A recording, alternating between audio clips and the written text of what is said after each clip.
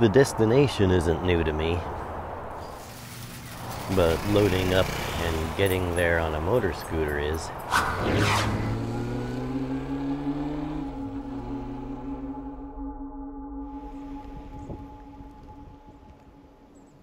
This is a short stop for lunch. It's about time. I've gassed up in Bodega Bay and uh, on my way to Jenner, but I need to eat. Uh, deciding again to come back up the coast into the wind is proving to be the challenge that I expected.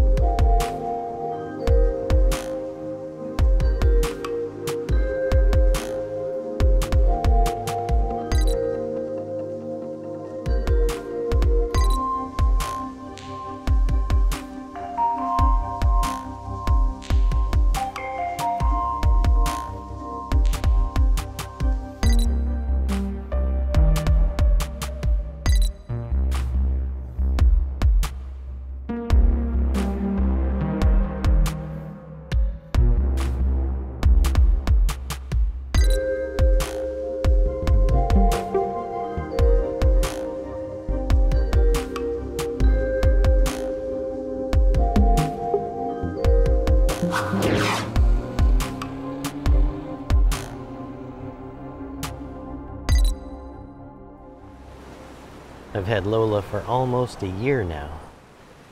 I'm gradually adjusting to having a fairly powerful and dependable scooter. And while I'd prefer not to go off on my own, it's been a dream of mine to load up and go camp for a night. The North Coast is perfect for this.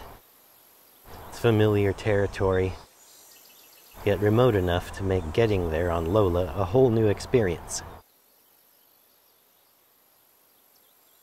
It's going to be light for another hour and a half or so.